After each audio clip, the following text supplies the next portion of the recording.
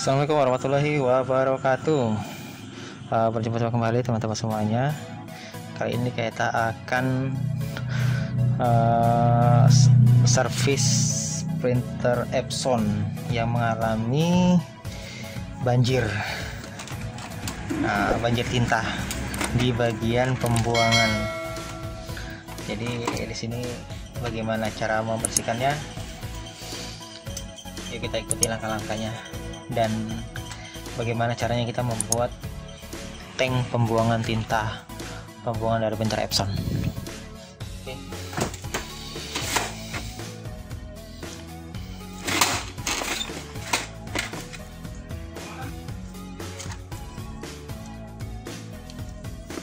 pertama kita bersihkan dulu bagian tank pembuangan.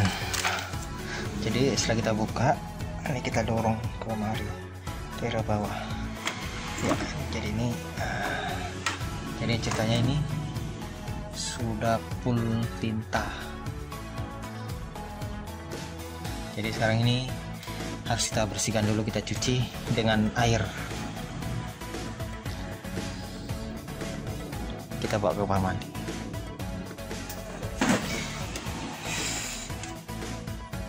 Jadi uh, teman-teman semuanya ya ini sudah kita cuci dengan air. Jadi sekarang kita kembalikan lagi. Tapi sebenarnya nanti ini bakal nggak kita fungsikan kembali. Karena kita akan membuat uh, botol atau tank saluran pembuatan langsung ke botol. Dan tidak perlu nanti apa, apa namanya jika nanti penuh tinggal buang aja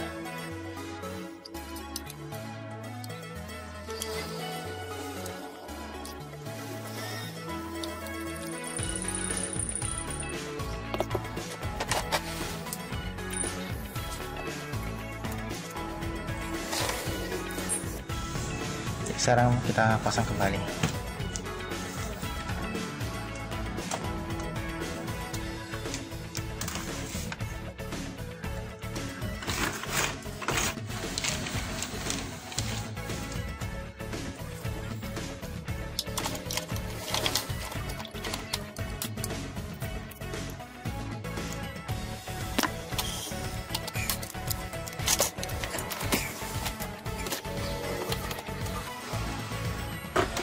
jadi sekarang kita akan membuat saluran untuk pembuangan tinta.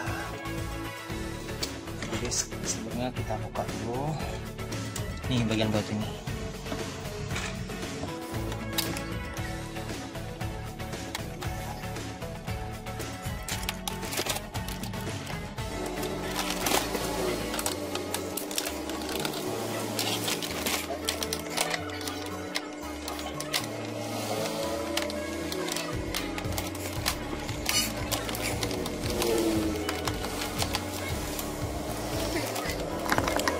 kita buka dulu ya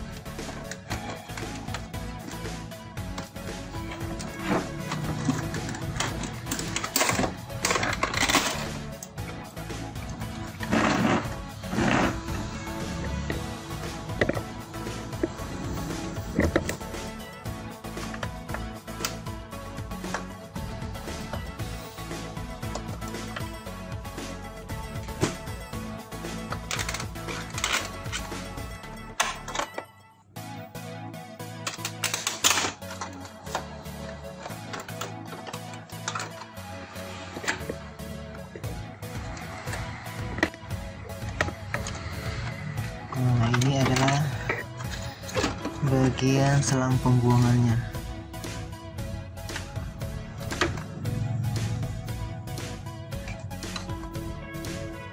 Hmm.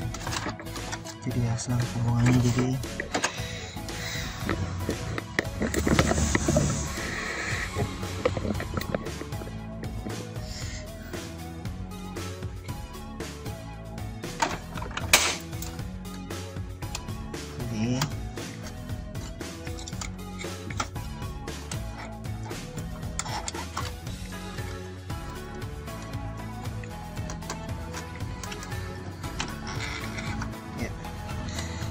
yang ini kita cabut nanti akan kita sambung.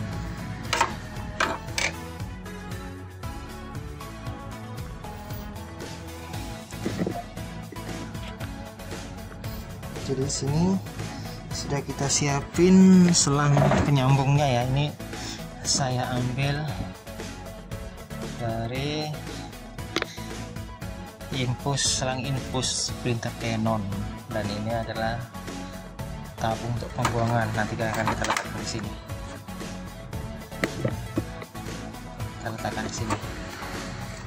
Nah jadi nanti tinta ini tinta buangan akan disalurkan kemari. Jadi nanti kalau penuh kita, kita tinggal buang dari sini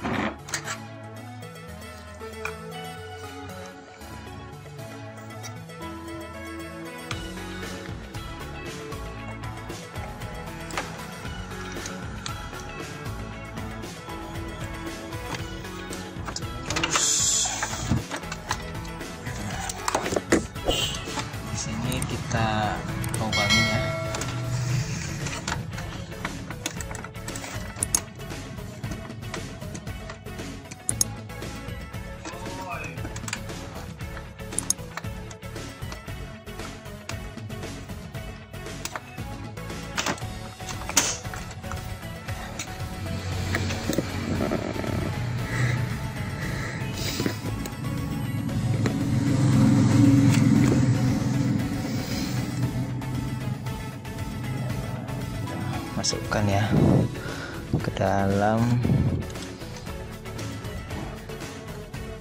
Ya ini dia. Jadi kita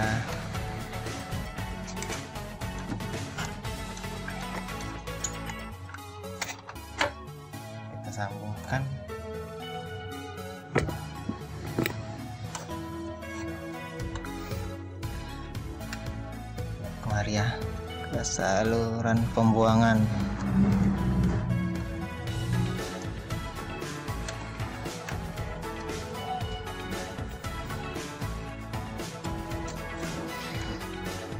Jadi kita laban ya supaya nanti jika ketarik eh, selang tidak lepas dari sambungannya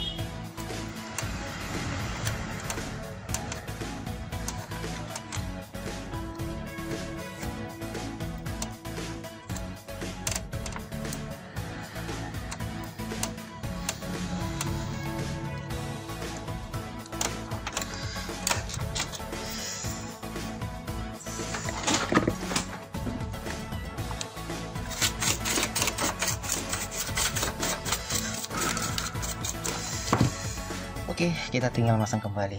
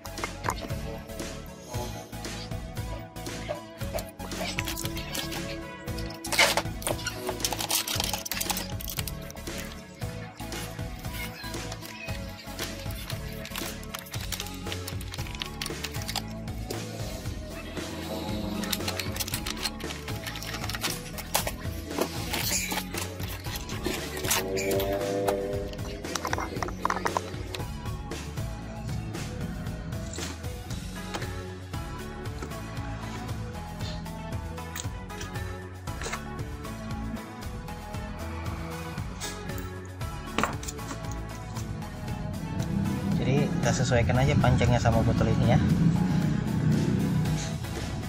Jadi kita masukkan kemari.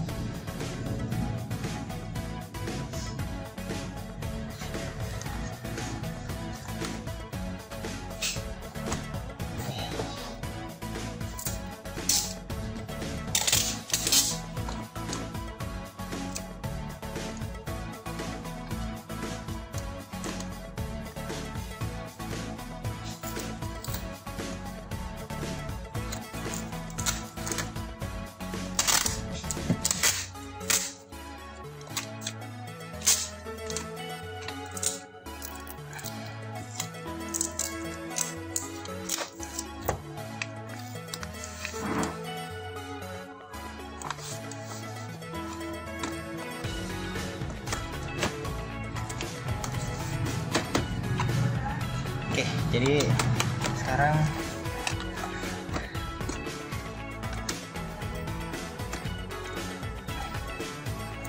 selang pembuangan tintanya sudah selesai.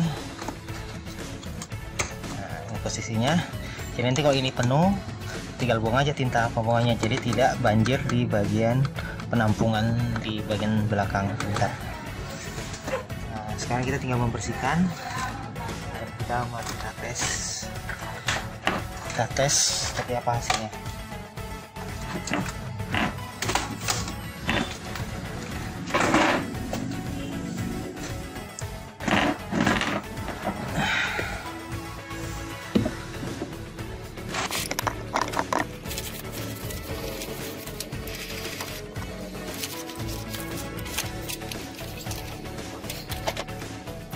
Fotokopi hitam saja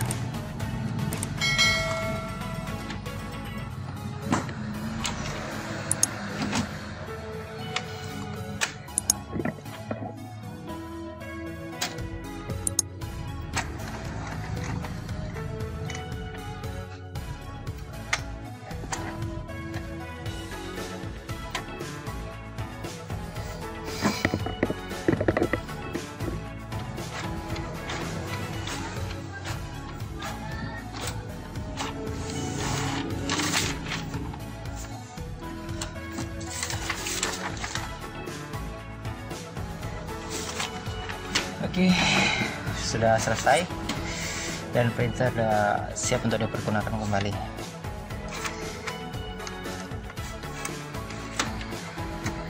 Oke, semuanya teman-teman semuanya, semoga